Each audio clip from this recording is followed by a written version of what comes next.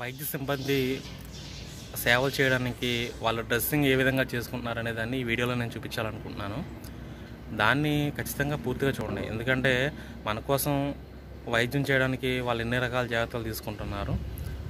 ఆ జాగ్రత్తలు తీసుకున్నప్పటికీ కూడా వాళ్ళు ఇప్పటి వరకు ఒక యాభై మంది వరకు కరోనాకు గురవడం జరిగింది.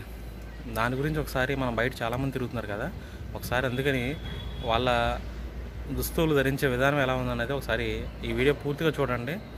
లైక్ చేయకపోయినా పర్లేదు కానీ మీకు తెలిసిన వాళ్ళకి మాత్రం షేర్ చేయమని చెప్పి నేను కోరుకుంటున్నాను.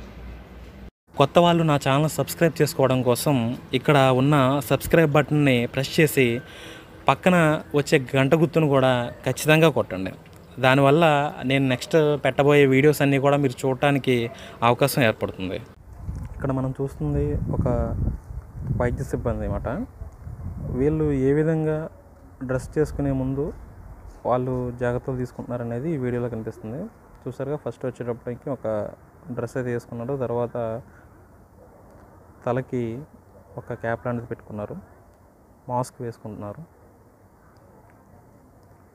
ఆ మాస్క్ కూడా ఒక గాలాటకు వీలుగా ఉన్న ఆ మాస్క్ పెట్టుకుంటున్నారు. తర్వాత కళ్ళజోడు అంటే కళ్ళ ద్వారా కూడా వ్యాధి వ్యాపిస్తుంది కాబట్టి కళ్ళజోడు పెట్టుకున్నారు. మళ్ళీ మధ్యలో ఇంకొంచెం మళ్ళీ ఇటువల్ల వైరస్ ఏమైనా వస్తుందేమో అని చెప్పని మళ్ళీ క్లీన్ చేసుకుని హ్యాండ్ గ్లౌజ్ వేసుకుంటున్నారు. తర్వాత ఒక రకమైన సూట్ వేసుకుంటున్నారు అనమాట అది కాళ్ళ దగ్గర నుంచి నెక్ వరకు పూర్తిగా కవర్ అయిపోతుంది ఇది ఈ సూట్. కానీ ఇక్కడ మీరు ఒక్కసారి గమనించాలి మనం కరెంటు పోతే ఒక ఐదు నిమిషాలు ఉండే పరిస్థితి కాదు.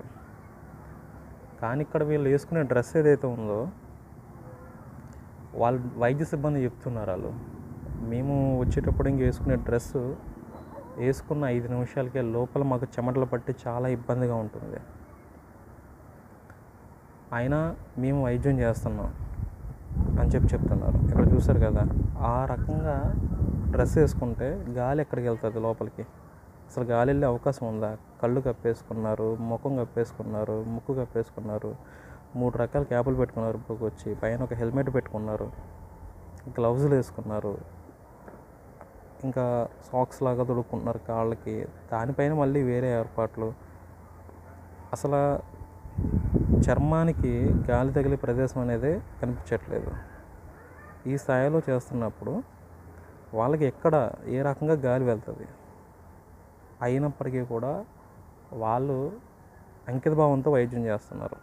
ఇలా జాగ్రత్తలు తీసుకున్నా కానీ ఏదో సందర్భంలో ఎక్కడ దిక్కున ఇబ్బంది అయ్యి ఇప్పటి వరకు మన భారతదేశంలో యాభై మందికి వచ్చిందని చెప్పని ఒక అంచనా. కాబట్టి ఒకసారి ఆలోచించండి. ఇంత స్థాయిలో చూసారుగా? ఒక సూట్ వేశారు. ఒక డ్రెస్ ఒక సూటు పైన ఇంకొకటి. ఈ స్థాయిలో జాగ్రత్తలు తీసుకున్నా వీళ్ళు కూడా వైరస్ బారిన పడుతున్నారు. కాబట్టి మనం ఒకసారి అర్థం చేసుకోండి వీళ్ళు ఎందుకోసం పనిచేస్తున్నారు మనం మన జాగ్రత్తలు తీసుకోవాలి. మనం మన కుటుంబంతో గడపడానికి అవకాశం ఉంది. వాళ్ళ వాళ్ళ కుటుంబంతో గడపడానికి అవకాశం లేదు. అయినా కూడా వాళ్ళు చేస్తున్నారు. వాళ్ళ కష్టాన్ని మనం మెచ్చుకోవాలి. మన జాగ్రత్తలో మనం ఉండాలి. దయచేసి ఇంట్లోనే ఉండాలని చెప్పి నేను ఈ వీడియో ద్వారా తెలుపుతున్నాను. ఇది ఖచ్చితంగా ఇతరులకు షేర్ చేయండి.